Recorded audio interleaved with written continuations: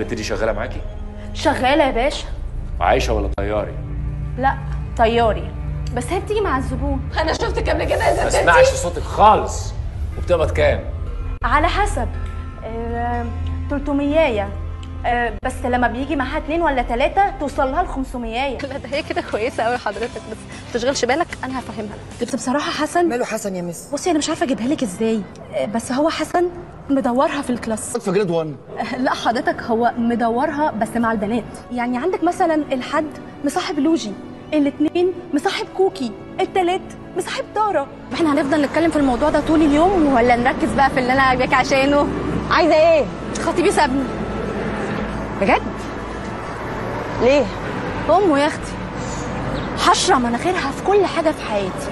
وبالذات من ساعة ما ابتدينا توضيب الشقة. ما استحملتش أنا بقى.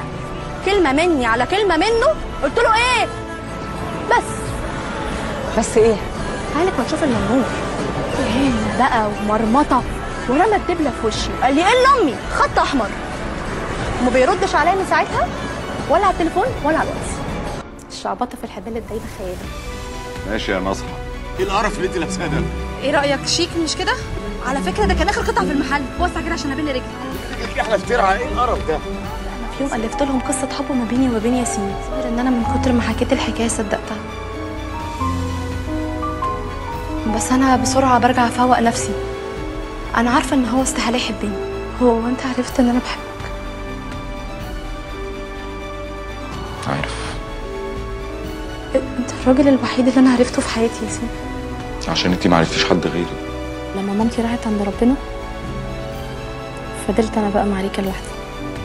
وبقيت بتعامل معاها كأنها مامتي بالظبط. يعني إخوات ولا مش إخوات؟ والله هو شايفني زي أخته. بس أنا شايفاه أكتر. شايفاه أكتر إزاي يعني؟ لا والله وأنا أكتر دي مش عارفة أقولها لك دلوقتي خالص يعني.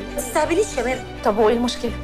MBA إيه MBA إيه دي؟ يعني married but available الراجل عنده مشاكل رهيبة مع مراته خدي مني. بتقول عليك إن أنت بتاع ستات والدليل على كده البوكس اللي أنت واخده في وشك ده من جوز عشيقتك اللي أنت ماشي معاه. والله العظيم دي لسعه مكوى يا سالي يعني في الخارجية ما حدش كلمك وقال لك إن الأستاذ نضال جاي النهارده؟ والله مش فاكرة يا مريم. تسلم يا قمر